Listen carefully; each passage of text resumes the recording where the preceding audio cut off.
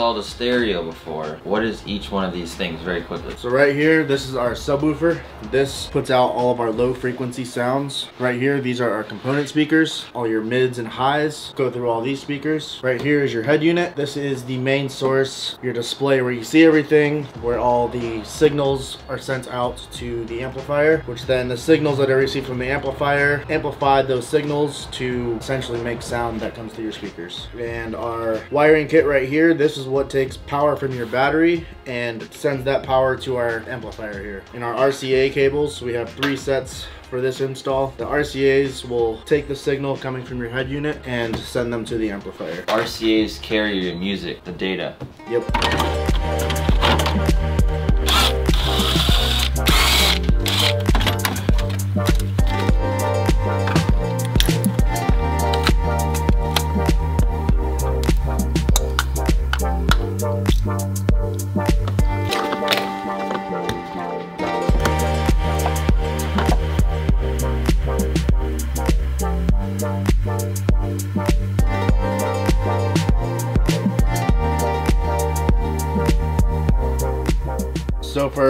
Small wiring jobs like this, especially with audio connections, I like to use solder whenever possible. And the heat shrink that I use is from wirecare.com. They have a good selection of just about every size in different shrink ratios. They have three to one and two to one. I like this three to one here. It shrinks down pretty good, provides a really good protection for the wire.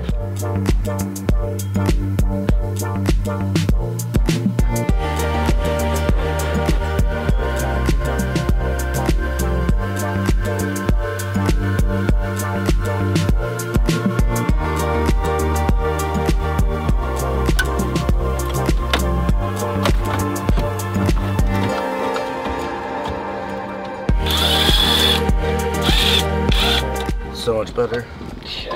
So much more responsive. I will say it looks a lot better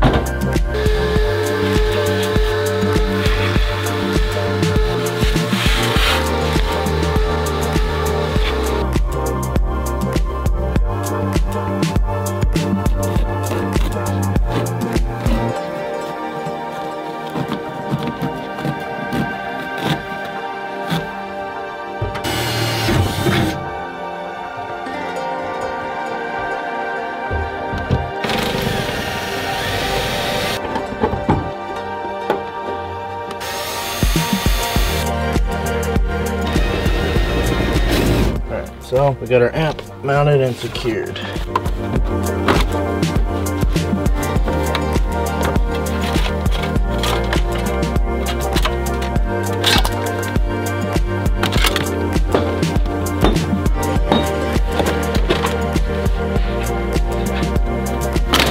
So typically in your normal car stereo setup, you'll have an amp if you're running a subwoofer. However, we're running one amp that's a five channel amp that's gonna power our speakers along with our sub. Instead of running new wires from all the doors going back to the amp, I went ahead and tapped into this factory plug right here on our other side so we don't have to do deal with any of that so that's what all this wire is right here so i'm to run this down through the floorboard and then back to our amp over here then I'll cut it to length and then we'll get everything turned. now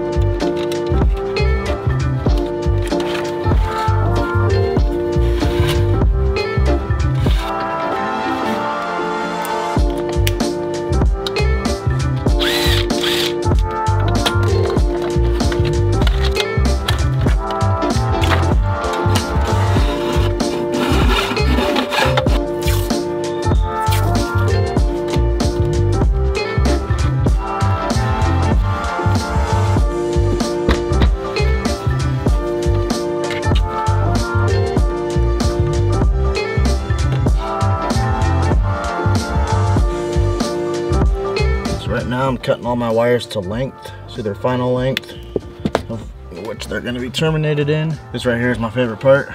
Not being sarcastic, this is where the overall final look kind of comes into play with how your wiring looks mounted up against the amp.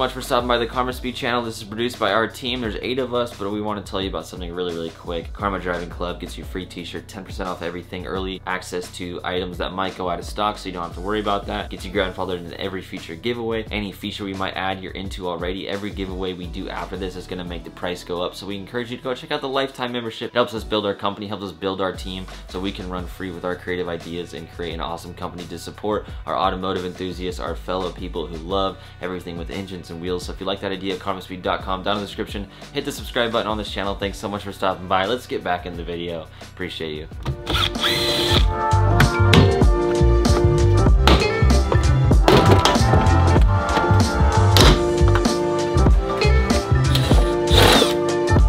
So right here we have our new 4x6 so i'm going to be soldering on the new connections only reason being is sometimes these come loose, so I like to have a firm and secure connection that I know is not gonna come loose. We're gonna find our right size spade connector here. I think we'll be good with. This guy right here, might have to open it up a little bit.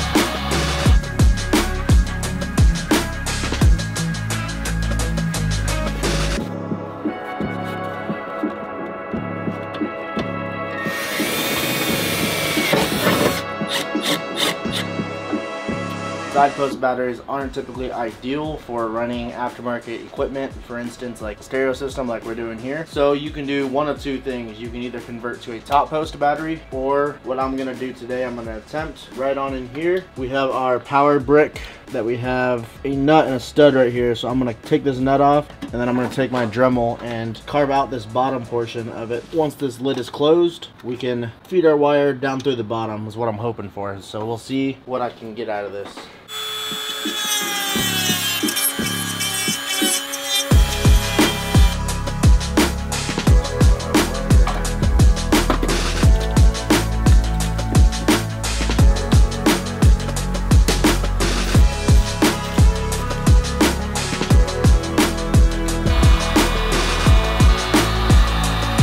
be very careful when you're heat shrinking on this mesh. If you use a torch, you can run the risk of actually melting through this this mesh and basically destroying your piece. So I like to use a heat gun, makes it a little bit easier. So another big thing to remember, if you have your power cable hooked up to a live power feed, you wanna make sure to disconnect your fuse here because whenever you're running this wire down through the cab, you don't want the end of that shorting out on any bare metal surface. So to eliminate that, we take out our fuse like so, and then we won't have any issues of it grounding out. So I'm using this little track right here to actually put the wire through. So if you see here, it fits pretty much perfect. So makes your life a little easier.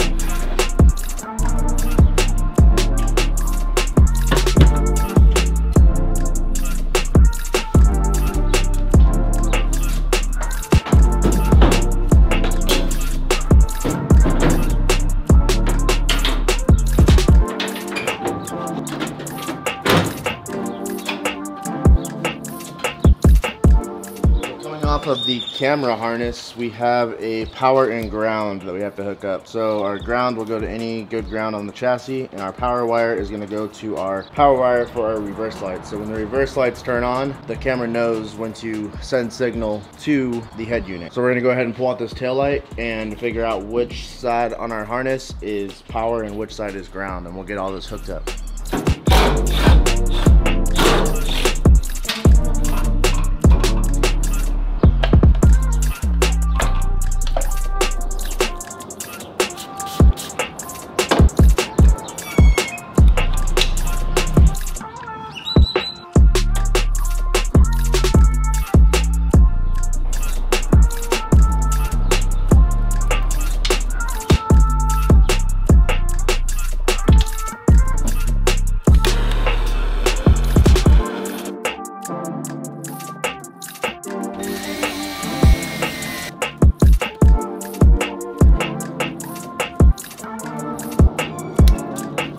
So if you notice, these two ends right here that meet up, the only way they go in is they just push together. To me, that doesn't seem like a very great connection without any kind of clips or locks. So I'm gonna put some heat shrink around it. I mean, it's not gonna keep it from coming apart all the way, but it'll protect it and protect any moisture from slipping in to this connection here.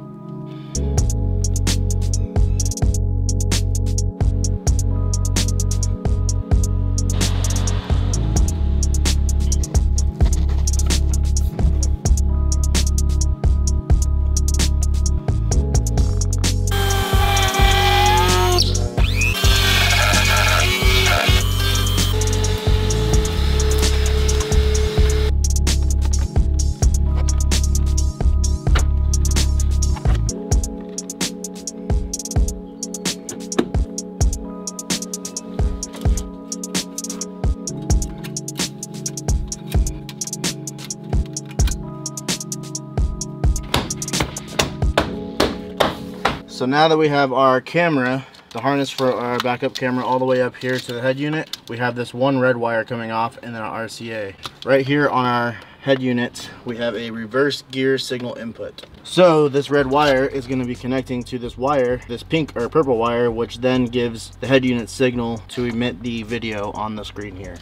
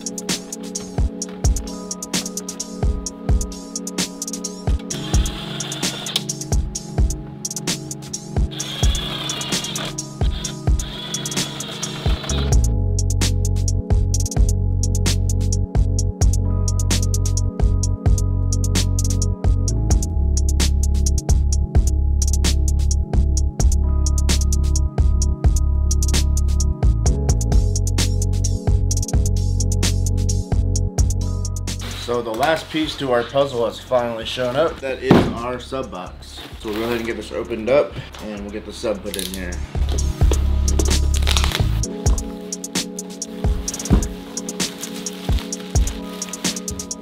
So this box is a little bit different than your typical sub boxes for these extended cab trucks. Typically they go across the whole length of the seat. However, we wanted to maintain some storage under that seat for at least half of it. So that's why we went with this style right here. So here I'm going to be making my wire that'll be going from the subwoofer to the pass-through connection on the box there. So it's just a short little connection here. You get a ferrule on here that'll go in the inside of the sub here.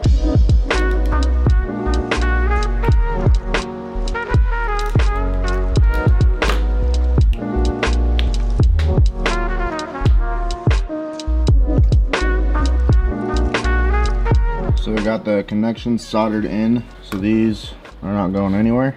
So now I'll go ahead and get the sub screwed into the box, get our wires put in, and then we'll go install it in the truck.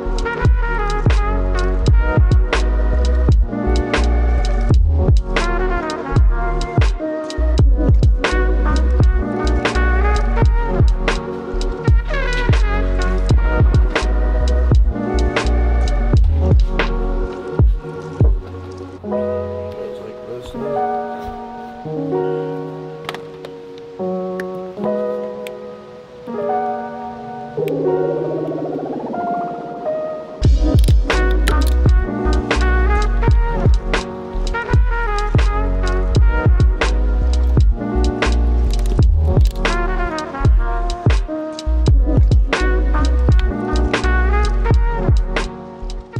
installed this whole thing with us and you're wondering, does this thing bump? Oh yeah. I got some uh, music from our copyright free spot.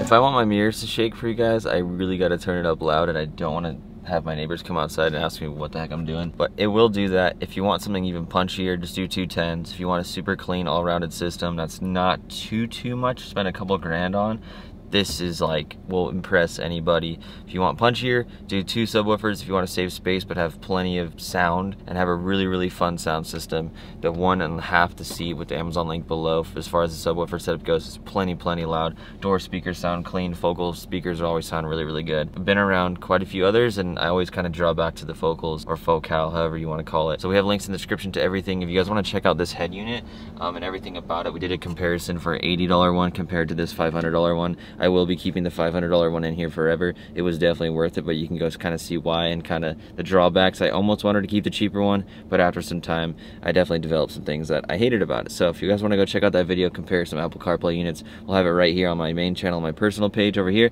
Hit that subscribe button on the Car Speed channel. Check out the links down below. They definitely help out the channel, but if you want to go see that comparison, click on the video right here. We'll see you over there. Thanks so much for stopping by the Car Speed channel. We'll see you around.